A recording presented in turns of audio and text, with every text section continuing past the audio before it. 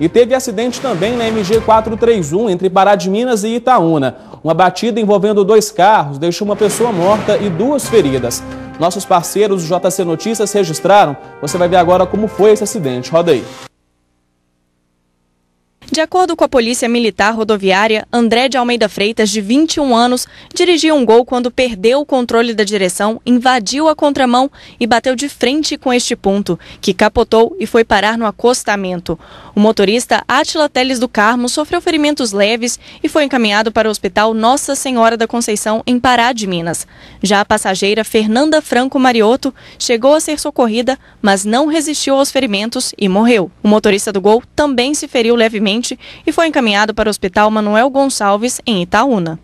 Triste, né, gente? Muito triste. Vocês viram aí uma jovem bonita, nova demais da conta, né, e perder a vida desse jeito. E é complicado, porque choveu, é o que a gente está falando aqui desde o início do programa. Choveu, tem acidente para todo lado.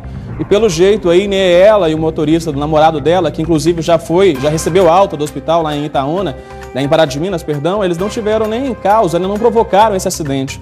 O motorista do outro carro, não se sabe porquê, perdeu o controle da direção e invadiu a contramão. Então, complicado, gente. Tem que dirigir com atenção redobrada, tem que ter cuidado por você e pelos outros motoristas, porque infelizmente, em um segundo de distração e causa um acidente gravíssimo, né? Pessoas perdendo a vida.